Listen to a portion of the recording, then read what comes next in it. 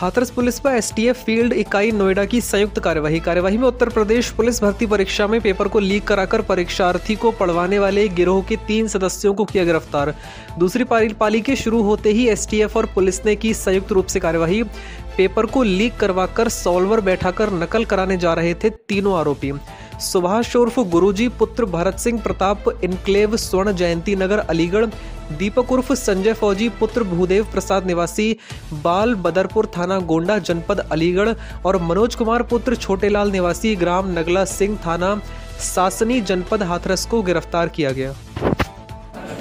दिनांक सत्रह अठारह फरवरी 2024 की उत्तर प्रदेश पुलिस में होने वाली परीक्षा में सालवर गैंग के अपराधियों को नोएडा एसटीएफ टीम तथा हाथरस थाना पुलिस की टीम को एक बड़ी सफलता मिली है।